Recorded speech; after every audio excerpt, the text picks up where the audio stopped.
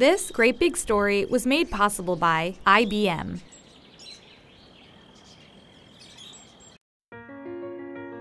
Culturally and traditionally speaking, when girls were born, they were not taught to go to, into STEM, which is science, technology, engineering, and math. They were taught to go into other kind of fields and sectors. But now we are changing that because we believe we all belong there.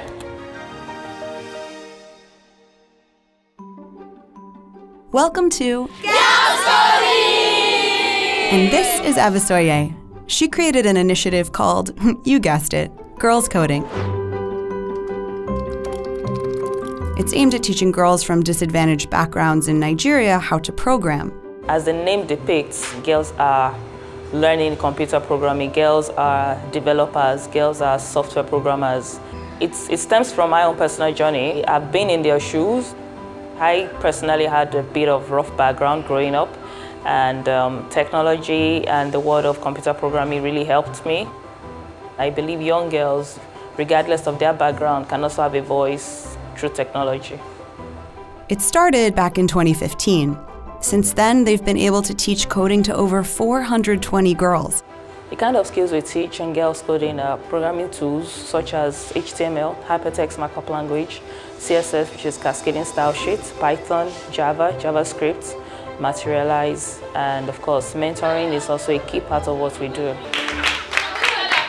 Girls come from all sorts of backgrounds. Many come from the slums around Lagos.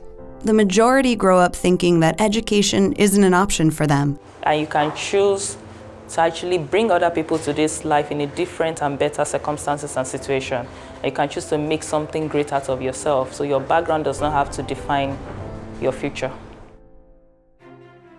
But a few times a week when they join this class, they get a glimpse of a whole other world. Seeing a lot of girls who have never seen computers before now can teach adults what they know. It's amazing.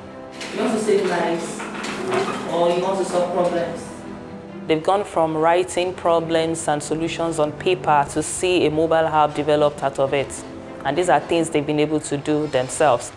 When I grow up, I would like to become a medical doctor. I want to be a computer science programmer. I want to become a lawyer. I hope to become a mathematician and a programmer. I believe Africa can offer the world a whole lot, especially if we can invest in our talents, in the potential of young people, and make them build things that pertains to Africans. So when you invest in people, when you make them thinkers, they can build world-class solutions to problems, and that is massive.